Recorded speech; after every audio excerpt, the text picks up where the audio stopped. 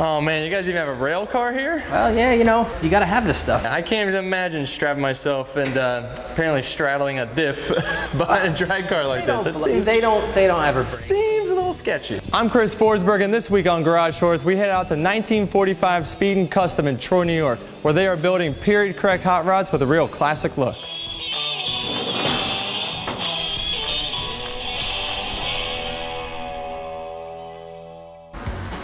Oh man, just feel like going back in time. Dude, Jeremy. Oh, man. This place is sweet. Oh, thanks. Oh, I love it, How's it man. going? Great to see you. Well, I gotta say, I'm loving this showroom. I mean, this living room setup is hilarious. It's so period correct to go with all these cars, and uh, I mean, even even this one, it like matches as well. Why don't you tell me something about this? Absolutely. Well, pretty much we try to build like era specific cars. You know what I mean? Like if it's, you know, a late 40s style hot rod, it's got to look a certain way. Or if it's like a 60s style hot rod, that's also got to look a certain way. So pretty much just like a 60s style show car, you know, and that's what we did. So, Very and then, cool. you know, tuck and roll, white tuck and roll, and, you know, doing like a white motor and, you know, just do it the way it kind of would have been done in the mid to late 60s. Oh man, you guys even have a rail car here? Well, yeah, you know, you got to have this stuff. Oh my God, where'd you pick this thing up? I built it. I Really? Yeah, a friend of mine. Oh, dude. A friend of mine's got an original Linwood Welding. Uh, there's a dragster company. I just took a bunch of measurements off his car.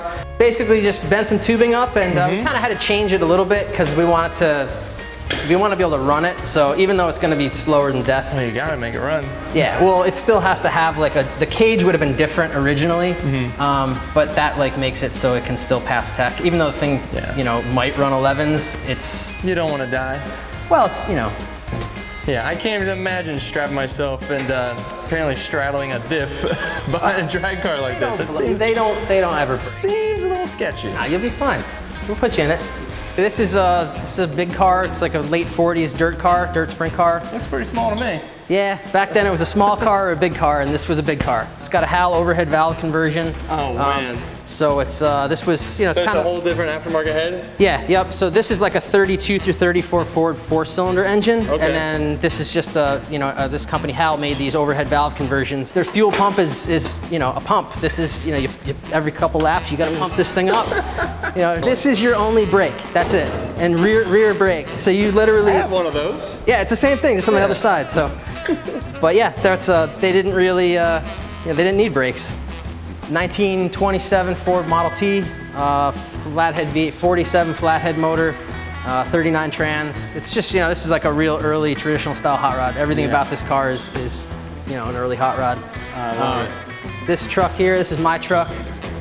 So this is the car that you run in the Race of Gentlemen, right? Yep, yep. Yeah, yeah, is, you're one of the organizers? Yeah, this is my car. We're uh, we're the Oilers Car Club. We Yeah. uh, we put on that race. It's uh, in October. It's uh, in Wildwood, New Jersey. So it's basically just drag racing on the sand, and it's all cool. all period hot rod stuff. It's all got to be early parts. It's got to have the right look, the right stance, the right motor, the right transmission, the right everything. You know, this whole kind of culture of service by having that race because, like you said, you have guys building the cars for that race specifically and not Yep. just like something to, you know, maybe drive on the weekends or sit in a showroom. It's like take Right. them out and run. My truck does pretty good. Mm-hmm. It's uh, it's a it's a well, it's a 51 flathead V8.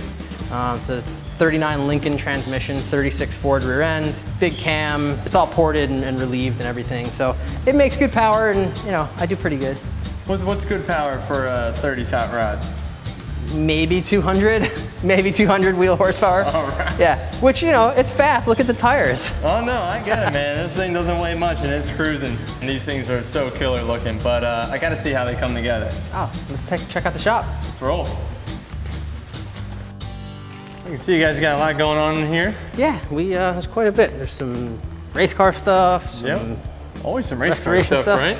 Yeah, try to try to do that stuff. That's the fun stuff. This is like the start, you know. These are just some Model A frames. Gotta start somewhere.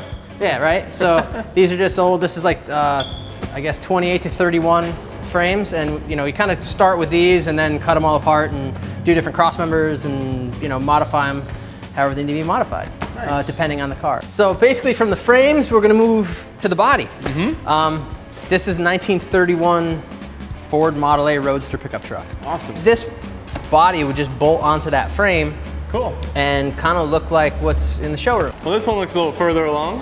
It looks like that, but we're gonna we're kind of taking it all apart and redoing it. Oh, okay. Um, we're just gonna redo some suspension stuff and kind of make it a little bit more traditional. It's a 32 Ford three window. This is what a hot rod is. This is what everybody wants. They're super duper hard to find. what exactly were you looking at? Um, it's got a four bar on the front. It Mm-hmm. was something that was probably done in the 90s or late 80s or whatever. So we're it just a little better, but yeah, it's Wanna make it worse? Yeah, obviously but correct.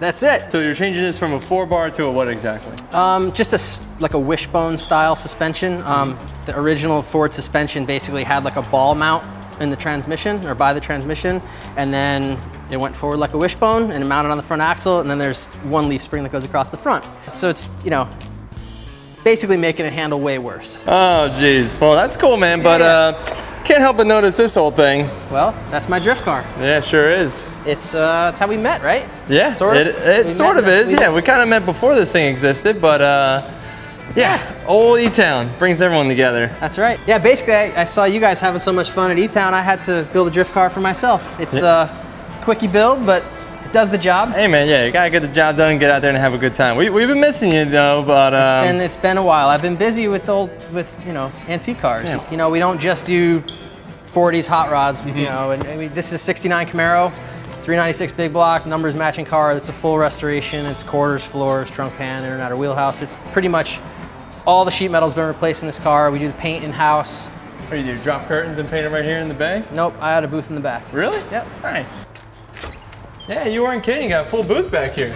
Yep, it gets the job done. Yeah, I mean, when you're doing full car builds like that, I mean, having your own paint booth is, you know, priceless. Oh God, I was sending stuff out and waiting for it to come back. So Yeah. I hired the best painter around, and There you go. now I got a paint booth and a And good this painter. one looks like it just came out. Yeah, yep. This car is just getting final assembly. It's a 79 Camaro. We did like a 70 front end and rear end on. It's all Ride Tech, four link in the rear and uh, tubular up and lower control arms, Fox shocks. Looks So, pretty gnarly. yeah, things should uh, should handle pretty good. Well, Jeremy, I gotta say, you guys are really killing it up here. You got styles for miles in these old classics, and uh, the Race of Gentlemen sounds super cool. And I gotta get out to the next one. Yeah, man. But uh, until then, I'll take one of these things for a ride. Let's go. Yeah, let's do it. Cool.